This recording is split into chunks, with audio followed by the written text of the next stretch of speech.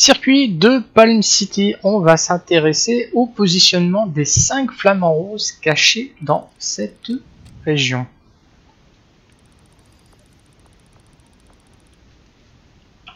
Circuit de Palm City, donc on commence avec notre tout premier flamant rose. Alors au niveau du circuit, euh, tout ici, il y en a plusieurs. Le premier qu'on va attaquer, en fait vous pouvez l'avoir de l'extérieur, il y a comme une butée euh, qui vous permet de rentrer directement sur le circuit via un trou dans le grillage. Donc voilà, il y a la butte. On peut voir ici qu'il y a un grillage, mais avec un trou. Et voilà notre premier trophée.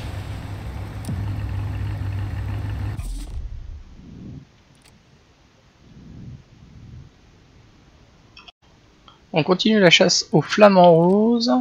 Donc là, on va pouvoir avoir le deuxième, toujours euh, au niveau du circuit. À l'intérieur, vous avez une espèce de tube, et tout au bout du tube, vous avez votre flamand qui vous attend. Donc voilà.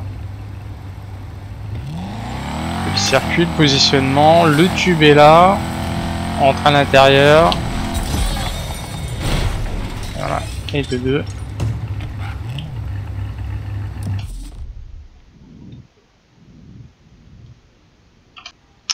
Flamant rose, le troisième. Alors on est également à côté de notre garage. Là où on a trouvé un panneau.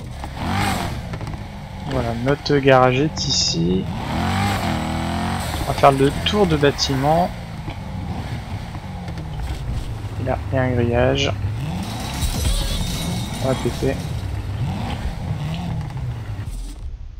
Troisième, il nous en reste deux.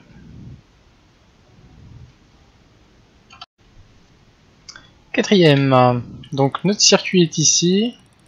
Il se situe près de bâtiment en bas à droite. On est en limite de propriété, on va longer le bâtiment. Pour revenir dessus, il y a une espèce de tour rose, pas très loin.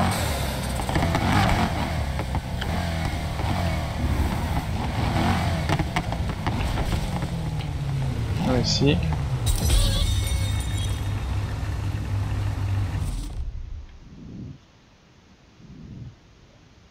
Attends, faut trouver le dernier.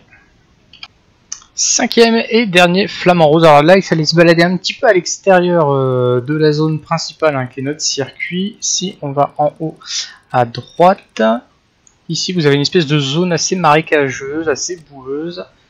Et on peut retrouver sous un pont notre petit trophée. Et voilà. Récompense toujours argent, réputation. Termine.